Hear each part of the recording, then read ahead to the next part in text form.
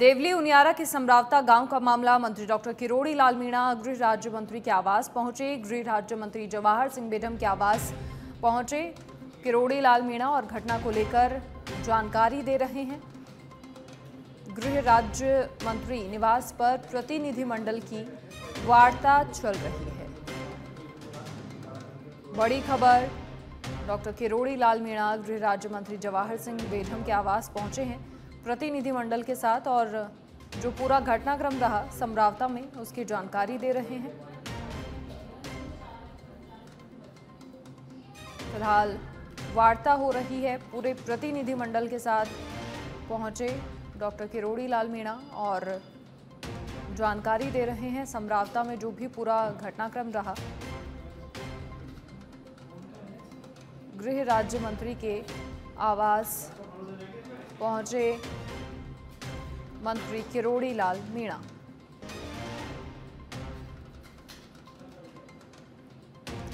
तो समरावता में जो भी घटनाक्रम हुआ, चुनाव के दिन उसने पूरे प्रदेश की छवि तो खराब की ही, लेकिन जिस तरीके से वहाँ लोगों को भी परेशानियों का सामना करना पड़ा।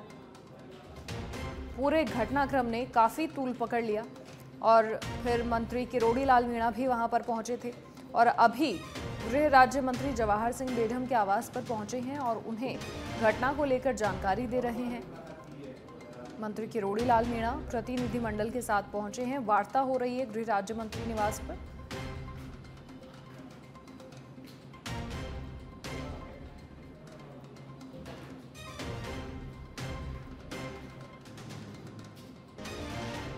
पूरे प्रतिनिधिमंडल के साथ।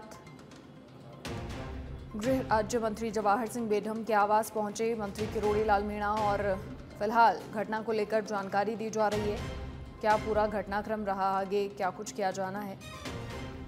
अधिक जानकारी के लिए सहयोगी कुणाल भटनागर फ़ोन लाइन पर जुड़ गए हैं। कुणाल, क्या कुछ पूरी जानकारी? देखिए किरोड़ी लाल मीणा अपने पूरे प्रतिनिधिमंडल के साथ गृह राज्य मंत्री के आवास पहुँचे हैं। क्या कुछ बातचीत वहाँ पर हो रही है?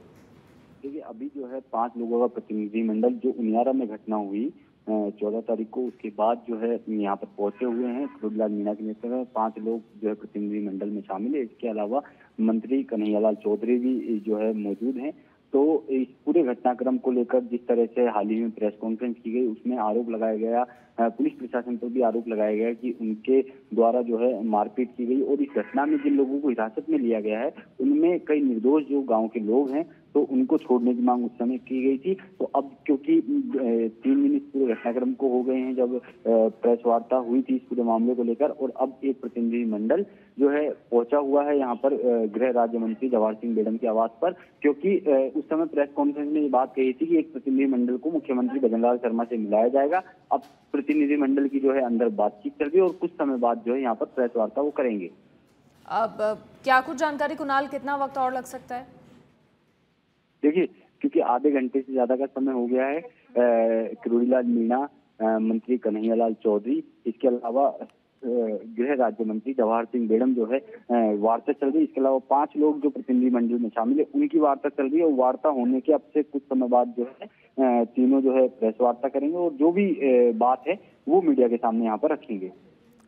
चलिए, शुक्रिया जानकारी साझा करने के लिए आपका कुणाल। तो घटना को लेकर फ़िलहाल जानकारी साझा की जा रही है और पूरी जब बातचीत होगी तो उसके बाद प्रेस कॉन्फ्रेंस होगी।